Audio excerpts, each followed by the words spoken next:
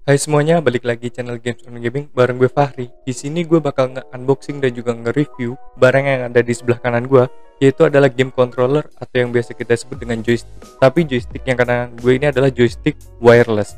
Nah, joystick ini tuh uh, keluaran dari brand atau produk yang bernama Easy SMX. Tapi sebelum kita masuk ke video unboxingnya, jangan lupa buat kalian semua yang lagi nonton untuk pencet subscribe yang ada di kiri bawah yang warna merah supaya gue makin semangat untuk bikin video ke depannya. Nah, sebelum kita masuk ke videonya, kita intro dulu.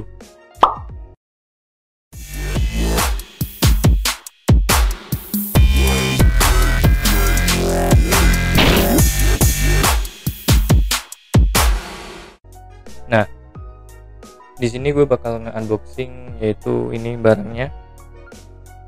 Uh, kalau kita lihat dari boxnya, ini boxnya udah penyok-penyok gini emang dari pengirimannya.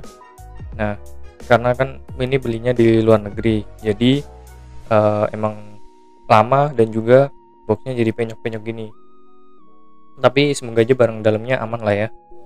Nah, sebelum itu mari kita bahas dari boxnya dulu sini boxnya kelihatan premium banget eh, nggak uh, kayak box-box game controller biasanya biasanya itu kalau game controller itu setengahnya kayak dari plastik gitu buat ngeliatin uh, joysticknya tapi gue malah lebih uh, seperti ini karena kelihatan lebih premium semuanya black dan kotak itu kelihatan compact. Uh, ini tuh nah ini modelnya. Ini namanya produk dari Easy SMX modelnya SM 9101 dan di sini warna yang gue pilih adalah warna hitam. Gue nggak tahu ada warna putih atau enggak tapi kalau yang gue beli warna hitam oke. Okay. uh, eh, apalagi yang bisa dilihat? Nah oh ya ini uh, pembuatannya di di Cina lah yang jelas. Jadi ini boxnya udah kayak gini. Nah ini boxnya udah kayak gini karena ya kemarin kan dari Cina takut tahu sendiri gue takut kena virus apa. Jadinya sini udah gue uh, kasih semprotin apa tuh namanya hand ini gitu. Oke. Okay. mari kita buka aja.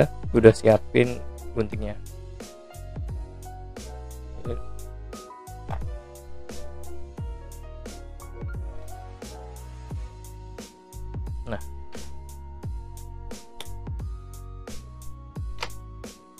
oh ya dalamnya seperti ini. Sepertinya atasnya yang ini. Kita bisa ditarik.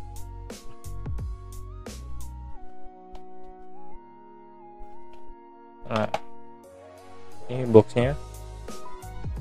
Udah nggak ada apa-apa lagi dalamnya. Kita singkirin aja. Terus ini nah ini adalah dalamnya. Seperti bahannya dari kotak kardus biasa sih kita keluarin dulu satu persatu oke. Okay. ini game kont controllernya. Game controllernya atau joysticknya. Ini dongle-nya. Udah kosong nggak ada apa-apa lagi. Kita bahas kita ini dulu ya. Breakdown satu-satu. Oke di sini ada ucapan kartu ucapan dari perusahaannya. Kayak intinya terima kasih. Seperti ini terima kasih karena udah beli dan lain-lain. Nah gue suka banget sama ada ucapan seperti ini kayak mereka mengapresiasi kita karena udah beli. Kita singkirin dulu. Selanjutnya ada ini. Uh udah segini. Ada buku panduannya. Oke ada buku panduannya. Oke dan kalau nggak salah uh, ini game controllernya ini bisa untuk PS3, PC dan juga Android. Jadi dia bisa untuk semua platform. Jadi multi platform gitu. Nggak cuma di PC doang atau di PS doang. Ini kabelnya. Kita buka dulu. Nah, untuk kabelnya sendiri di sini belum braided, masih yang lama. Dan untuk ininya uh, jacknya untuk colokannya masih yang silver belum gold. Nah tetapi di sininya ini udah menggunakan type C bukan mic micro USB nah kelebihannya type C ini dia nah dia transfer datanya jadi lebih cepat daripada menggunakan micro USB ini kabelnya menurut gue udah cukup bagus sih kabelnya nggak harus braided. Selanjutnya double-nya nah dongle-nya ini di sini ada kelebihan dan juga kekurangannya. Kelebihannya ini kan dongle-nya besar. Jadi buat kalian yang suka hilang-hilangin barang atau lupa naruh kayak gue gini jadi lebih mudah buat nemuinnya dan lebih kelihatan. Kali eh, tapi minusnya dia jadi memakan space ketika kita taruh di laptop ataupun PC karena kan lumayan gede. Tapi buat gue pribadi gue nggak masalah. Oke uh, lanjut lagi. Dongle-nya kita taruh sini. Ini di uh, game controllernya atau joysticknya. Kita buka dulu. Sebelum gue bahas dari gimana rasanya gue pegang gue bakal bahas dari desainnya dulu. Mirip mirip lah ya sama uh, Xbox One. Jadi analognya berada di sebelah kiri atas dan arahnya yang bagian di, di sini. Pakai XGBA kalau PS kan pakainya uh, X kotak segitiga bulat. Nah ini udah seperti ini.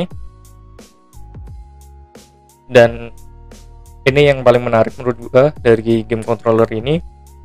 Udah gue bilang dia pakai USB Type C bukan micro USB jadi di sini sepertinya buat ngecasnya saja. Jadi misal kalian pas baterainya habis kalian cas. Dan ini pengecasnya lebih cepat.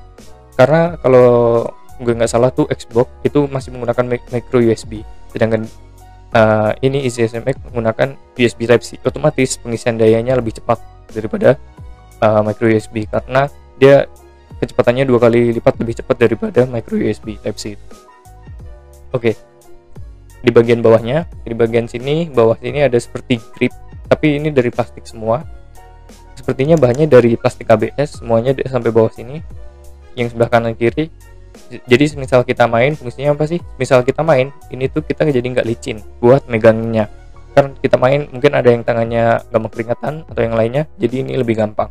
Oke ini pas sudah gue pencet sekali di sini dia akan searching uh, karena di sini dongle-nya belum gue pasang makanya dia masih mati. Nah kalau gitu kita bahas dari rasanya dulu ya. Jadi pas gue pegang ini rasanya sudah nyaman untuk pencetannya uh, di sini bahannya pakai plastik semua ya. Jadi untuk pencetannya menurut gue udah bagus cuman kurang empuk. Beda seperti stick Xbox. Kalau Xbox kan lebih empuk. Kalau dia di sini lebih keras. Tapi menurut gue nggak jadi masalah kalau gue pribadi makainya. Terus untuk bagian analognya sudah cukup halus. Untuk R1 L2 eh R1 R2 nya enak cuman bagian R2 nya menurut gue terlalu apa ya keras untuk dipencet. Jadi pas kita pencet seperti ini pas kita pencet seperti ini dia akan langsung responsif balik lagi. Nah ini selera aja. Kalau gue pribadi sih lebih suka yang lebih empuk dari ini. Nah, ini seperti ini. Ini ada di sini ada start, ada backnya. Nah, kalau kita bahas dari segi warnanya, gue suka sama warnanya uh, karena mereka dia full black gitu dan LED-nya cuma ada di bagian sini aja. Kalau gue pribadi nggak suka yang terlalu banyak RGB untuk bagian stick karena pas kita main dapat uh, menyilaukan mata kita. Nah, setelah itu uh, untuk bagian gripnya uh, bagian segini aja menurut gue udah bagus sih sebenarnya ada banyak model selain ini. Kenapa gue pilih ini? Karena yang lain tuh kebanyakan dia di sini ada baterai yang kita harus pakai baterai dari luar. Kalau ini baterainya udah menggunakan baterai, baterai lithium atau baterai tanam. Kelebihannya baterai lithium atau baterai tanam kita nggak perlu beli-beli baterai lagi. Kalau kita pengen ngecas tinggal menggunakan ini colokin ke komputer atau mana gitu yang ada buat USB nya dia akan otomatis ngecas. Dan uh, EasySMX ini ngeklaim untuk waktu pengecasan full itu butuhkan 2 jam dan habisnya membutuhkan waktu 8 jam. Menurut gue udah cukup lah ya 8 jam untuk kita main game dan ketika udah habis kita langsung aja colokin pakai uh, ini colokannya. Menurut gue udah worth it banget. Ini uh, keseluruhan nggak terlalu berat tapi compact compact banget menurut gue untuk harga segini. Menurut gue udah compact banget. Nggak nggak kelihatan murahan. Mungkin cukup itu aja gue mau cobain game controller ini buat gue mainin. Coba ya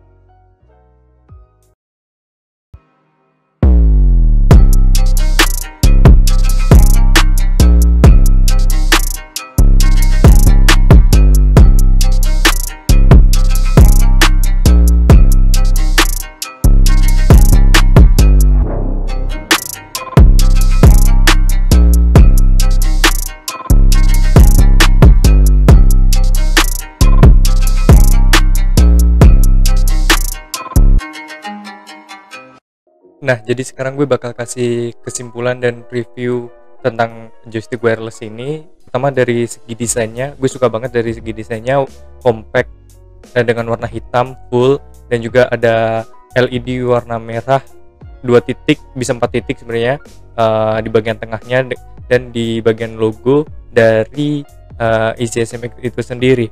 Nah, untuk bagian gripnya uh, gue udah lumayan suka karena itu dapat membantu gue dalam bermain game. Jadi gue ketika main game gak licin untuk desainnya overall gue suka. Nah jadi ICSMX ini mengusung desain gaya yaitu Xbox One yaitu uh, analognya di sebelah kiri atas. Nah kalau untuk build quality-nya gue suka karena di sini menggunakan plastik ABS ketika jadi ketika kita pakai itu nggak terlalu berat dan juga ringan jadi nyaman di tangan. Uh, bukan dari bahan metal atau yang lainnya jadi di sini enak banget buat dipegang dan untuk joystick wireless ini, dia sanggup bertahan hingga 8 jam ketika kita gunakan untuk bermain game. Dan hanya butuh waktu 2 jam saja untuk full uh, ngecas dari 0 sampai 100%. Dan menurut gue itu udah cukup banget dan kita juga bisa ngecas sambil main game yaitu pakai kabelnya kalau sudah 2 jam atau udah full kita bisa cabut lagi uh, kabel tersebut dan uh, bisa menggunakan wireless lagi. Untuk jarak wirelessnya gue kurang tahu maksimalnya berapa. Tapi yang jelas untuk jarak 2 meter nggak nggak jadi masalah. Terus nah seperti yang kalian lihat tadi baru aja dia mati. Nah jadi kelebihannya joystick wireless ini dia akan hemat baterai. Kenapa bisa bertahan 8 jam untuk full main game? Dan kenapa bisa hemat baterai? Karena ketika kita sudah tidak menggunakan itu uh, dalam kurun waktu beberapa menit dia akan otomatis mati sendiri. Dan ketika dia udah hidup uh, kalau di kita sambungin ke PC dia akan uh, nyala bagian atasnya dua seperti ini. Ketika kita ingin switch ke pakai untuk Android atau HP kita bisa tekan terus nanti dia akan yang nyala bagian kiri bawahnya dua. Untuk R2 L2 nya itu dia masih ada dead zone nya sekitar 0,5 sampai 10 persen lah. Sekitar 5 sampai 10 persen masih ada dead zone. Dead, dead zone itu apa sih? Jadi ada zona mati. Ketika kita pencet sekitar 10% dari totalnya dia belum mau responsif. Tapi tapi menurut gue pribadi sih itu nggak terlalu jadi masalah ketika gue pencet untuk nembak atau yang lainnya semua berjalan dengan baik. Tapi kalau untuk game-game balapan yang membutuhkan hanya sekitar sedikit saja mungkin bisa jadi masalah. Tapi gue gue, gue kurang tahu karena gue belum nyoba juga kok untuk bermain game balap. Tapi itu hanya 10% jadi kecil banget untuk kabelnya untuk ngecas itu panjangnya satu meter. Dan uh, game game controller atau joystick wireless ini udah plug and play ba banget. Jadi ketika gue tadi colokin dia langsung bisa compatible. Nah ngomong-ngomong uh, untuk dari segi harganya uh, gue beli di Shopee itu harga 240 ribuan. Buat kalian semua yang ingin beli jangan lupa cek link yang ada di description. Ntar gue taruh link beliannya di situ. Kesimpulannya adalah menurut gue dengan kalian spend uang sebesar 240.000 untuk beli stick seperti ini uh, apalagi wireless itu sangat-sangat worth it menurut gue. Untuk durability-nya gue belum tahu karena gue hanya baru pakai beberapa jam saja. Mungkin cukup sekian aja video kali ini. Uh, buat kritik dan sarannya jangan lupa tinggalkan di kolom komentar. Atau buat ingin yang ingin bertanya tinggalkan juga di kolom komentar di bawah. Jangan lupa buat like, comment, share, and subscribe. Jangan lupa di subscribe biar gue jadi tambah semangat bikin video ke depannya and see you